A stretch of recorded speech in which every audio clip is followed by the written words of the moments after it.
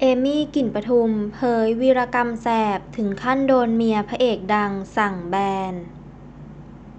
เรียกได้ว่าชอบดื่มเป็นเหตุ เมื่อทางด้านเอมี่ กลิ่นประทุม สาวนักดื่มตัวแม่ เล่าเหตุการณ์พีคโดนเมียพระเอกดังสั่งแบน เรียกได้ว่าเป็นอีกคู่ที่น่ารักมาก ๆสำหรับซีสิวัตโชติชัยชริน และเอมี่ กลิ่นประทุม ที่หากใครได้ติดตามช่องอินสตาแกรมของทั้งคู่ ต้องบอกเลยว่าเป็นคู่รักที่ ตบมุกโบ๊ะบะเข้าขากันสุดๆไปเลย และหลายคนอาจจะไม่รู้ว่าทางด้านเอมมี่กลิ่นปทุม เป็นสาวสังคมเฮฮาปาร์ตี้ ชื่นชอบ การดื่มมาก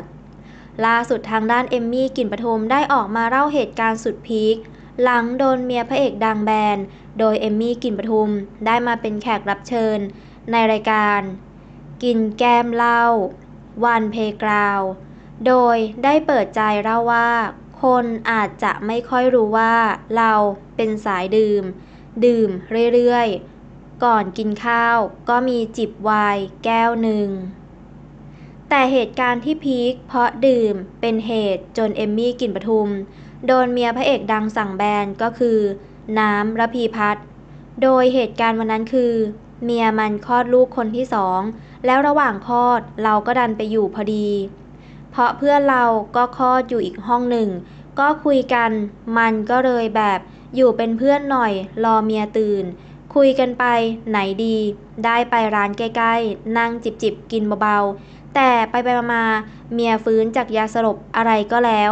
มันไม่กลับ แล้วไปส่งถึงโรงพยาบาลแล้วมันบอกจำห้องไม่ได้ ไม่รู้ห้องไหน มันก็ไปเดินเข้าห้องนู้นเข้าห้องนี้ แล้วเราก็ไม่รู้ว่า มันอยู่ห้องอะไร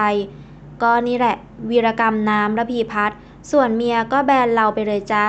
แบบสมมุติว่า วันนี้เป็นวันเกิดเราจะชวนน้ำระพีพัฒน์น้ำบอกเออแบบเออเมียกูไม่ให้มา